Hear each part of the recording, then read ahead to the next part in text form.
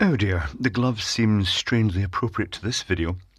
This is a mood light um, and it says heart and it's got that strange quotationy type marks with LED and I'm not really surprised. It's basically, it's saying, surprise your girlfriend with a huge illuminated set of testicles. So this uh, is labelled, where, where's the label on it? It's the bottom of this and it says, out of the blue. Yes, I think this did come out of the blue.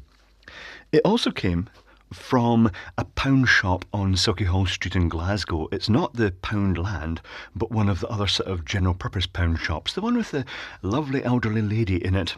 Anybody who goes into the pound shops in Sauchiehall Street will know exactly who I'm talking about. So uh, this has two intensity settings. This set it's got low level balls and it's got high level balls. Mmm, my balls are shining bright tonight. Inside, because this just the sack really just rips off is a little circuit board held in by screws. It's quite neat, and it's got three wires coming up to it and two resistors. And I think the reason for the two resistors is just the intensity settings because when you click the button once, it powers via one resistor.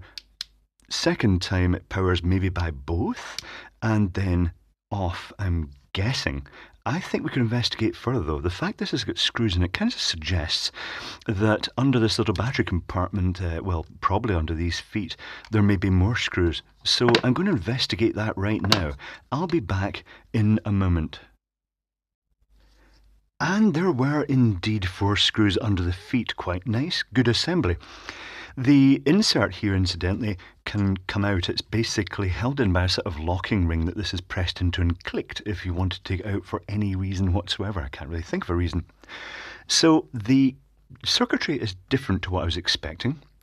When you press the button once, it lights at low level, which is about 122 milliamps.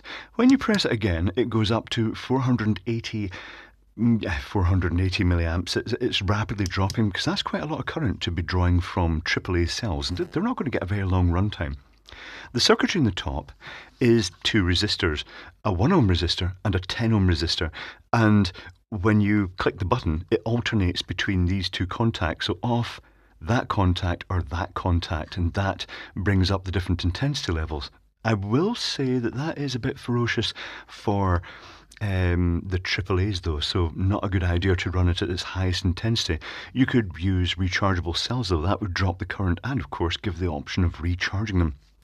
So it's nicely made for what it is. You could use it as a little fetching pink uplighter, I suppose. And if you're endowed with very small testicles, you could simply slot these on over existing ones and it'd make you look like you had huge nads. Um, other than that, the construction for such a weird device is actually quite nice, but I don't see myself using it in the near future. It's a bit weird.